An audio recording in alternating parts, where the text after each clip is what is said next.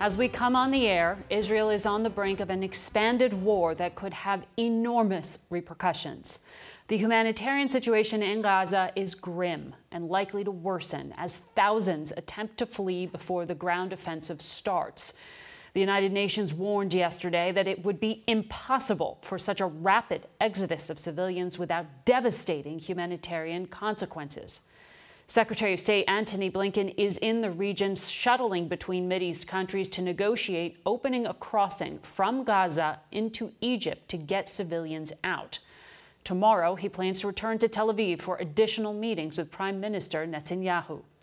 We begin our coverage from Israel with CBS News foreign correspondent Charlie D'Agata.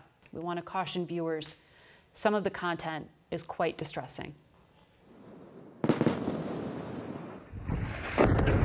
Israeli artillery and airstrikes have pounded Gaza in one of the most intense sustained bombardments the narrow strip of land has ever seen. Authorities in Gaza say more than 2,300 people have been killed, a quarter of them children. Hundreds of thousands of people have been heeding warnings from the Israeli military in leaflets dropped from the sky to evacuate from north to south. The UN says nearly 1 million people have been displaced, nearly half the territory's population with thousands crowding the Rafah crossing with Egypt, where CBS News found American Susan Baseso. The bombing, the killing, terrorizing kids, women, killing everybody. Also among those trying to escape, British schoolgirl Miriam. Like every place I go, I go run away and I just find bombs and I find dead people. And like maybe one day I'll end up like them, but it's a really scary thing for me. Even under fire, Hamas continues to launch missiles into Israel.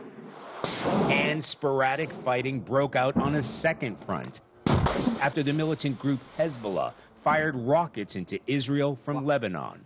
Nearer to Gaza, Israeli troops and armor are massing for an expected ground invasion on an unprecedented scale the Kfar Aza kibbutz, where Hamas gunmen went on a murderous rampage against families and children, has now become an Israeli front line. Burnt out vehicles and destroyed homes, the corpses of Hamas gunmen left to rot where they fell. Drones buzzed overhead, explosions rang out as Colonel Golan Vach walked us through the bloody aftermath and blackened homes. You can still see the beast here in this bed. Mm-hmm. Two women. Women were lying. Murdered inside the safe room that was supposed to protect them. He was sitting here and shot everyone uh, that stepped outside. The Israelis called this the neighborhood of slaughter. Nearly every single resident was killed here, 66 people on the street alone. A lot of children? A lot of children. Some of them, some of the children tried to hide behind these bushes. And they found them, and they slaughtered them, and they were happy. Amid the sadness here, a growing anger. Why weren't communities so close to Gaza better protected?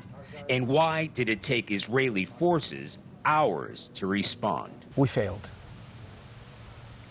Period. We failed protecting the civilians. It shouldn't be happened.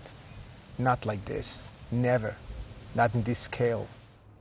Israeli Prime Minister Benjamin Netanyahu convened the country's expanded emergency cabinet for the first time today, saying Hamas thought we would be demolished, but it is we who will demolish Hamas.